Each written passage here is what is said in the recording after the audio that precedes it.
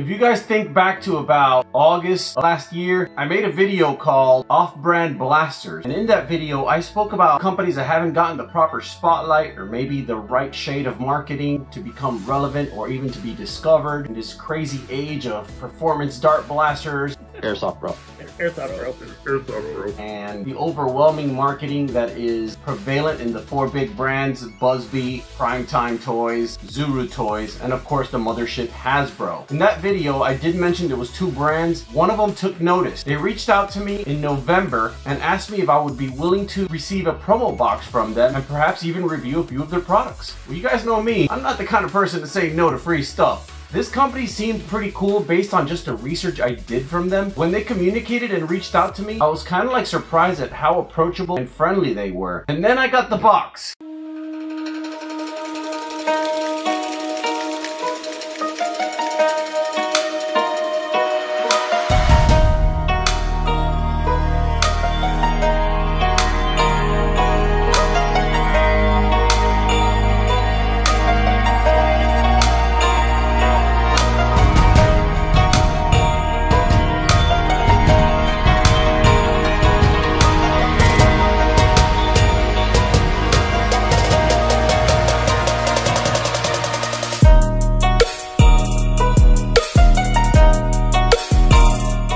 Was really blown away at the presentation. This is not no ordinary promo box. As you can see, my name was actually printed into the graphics under the lamination of the box. I thought that was pretty crazy. It even says weapon data. Kind of cool. It's kind of like discovering a weapon cache in a video game. This video, we're just going to briefly go through the components of this box. We're going to talk a little bit about the company and their distribution effort. And then I'm to discuss the review schedule for the components in here. So let's get started, shall we? All right, guys, we got a few things going on here, but first up, looks like we have part of their main series, something that gives us a little bit of a resemblance to the X-Shot Vigilante. It does have a very small form factor, small scope. I can imagine this being for a younger crowd, even though they do advertise it for ages 8 plus. Does come with a 10 dart. This is the Micron. This is part of their mainline series. It's kind of like a Jolt with some extra furniture, a little bit of a body kit on it. Another Jolt variant that they have is the Nanocron. This one resembles the classic Nerf Jolt the most. This one's actually pretty cool. It has the bottom prime, just like most Jolts. Two darts, kind of like basic small Jolt configuration blasters you would see. Of course, got some extra darts. This is a 50 pack. Now these darts are what I like to call three quarter length. They are actually still shorter than the X-Shot XL dart. This would come in at around the length of a three quarter length dart. Kind of cool, may serve effective for some specific applications. And then we have the Fast Shot Cybergen series, which I guess it's a sub brand, kind of like saying Doomlands for Nerf, brand within a brand, so to speak. This is kind of cool because it encompasses a lot of the characteristics of the X-Shot Crusher, but in a small form factor. So it has this reverse kind of grip with a top button to release the prime, and then you have this priming bar right here to actually prime the blaster. So I thought that was kind of cool. It does contain a little bit of an off color to associate it with that sub-brand characteristic of Cybergen. This stuff is going to be really cool to review. Now I also have some of my own blasters that I had promised to review back when I did that off-brand video. These are items I purchased with my own money back in last August. I found these items at DD's discount. Happy Line did tell me that these items are procurable at a bunch of stores. I'm going to list these stores in the description. Over time, they're saying they're going to increase their distribution efforts and we're going to be seeing more and more of these at local DD's discount stores as well as their other distribution stores. This pistol here, which I actually featured in my original video, is called the Bantam 3. It's kind of like a Fire Strike style pistol. Resembles the X-Shot kickback a lot without the slide gimmick. The performance on this is actually pretty amazing. It has a metal dart post. I remember talking about that also in that video. All of these sets come with these little targets, which you can just prop up and shoot at them for fun. I believe this is called the Epsilon, and this little minigun looking thing here is called the, the Bear Claw. These are pretty cool blasters, guys. I'm excited to review these things for you. It's always nice to know that there's an alternative to our everyday brands, new companies coming out that are wanting and willing to compete with these mainstream brands, and that motivates companies to actually increase their quality control and the overall reception of their products. Now, Happy Line also told me they do have a slogan. It's called Play Happy, Stay Happy. I thought that was kind of cool. And they did tell me that they're gonna be coming out with a new line of both foam and water blasters with an Alien Gen theme. So I'm really excited about that. Like I said, this is a fresh new product. I'm happy to introduce it to you and I hope that we can see more of it in the future. Definitely look forward to these individual reviews as I'm gonna be rolling them out slowly in between my other pieces of content. But for now, I recommend you watch this video right here. You're gonna find great value in that. Till next time, stay blasting, foam fam.